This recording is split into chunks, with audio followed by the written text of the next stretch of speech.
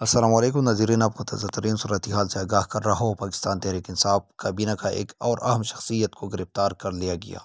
पाकिस्तान तहरीक इंसाफ का सबक स्पीकर जनाब असद कैसर को बनीकाला से गिरफ़्तार किया गया। पाकिस्तान तहरीक इंसाफ का एक और अहम शख्सियत और सबका स्पीकर जनाब असद कैसर को बनीकाला अपने घर से पुलिस ने उठा लिया।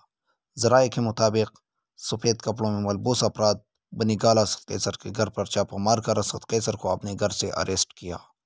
असद कैसर की अहलिया के मुताबिक सफ़ेद कपड़ों में मलबूस अपराध घर में दाखिल होकर असद कैसर को अपने घर से उठा लिया।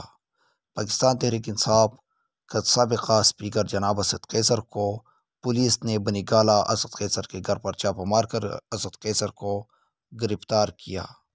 पाकिस्तान तहरीक इंसाफ का एक और अहम शख्सियत और सबका स्पीकर जनाब असद कैसर को पुलिस ने बनिकाला अपने घर से ही अरेस्ट किया।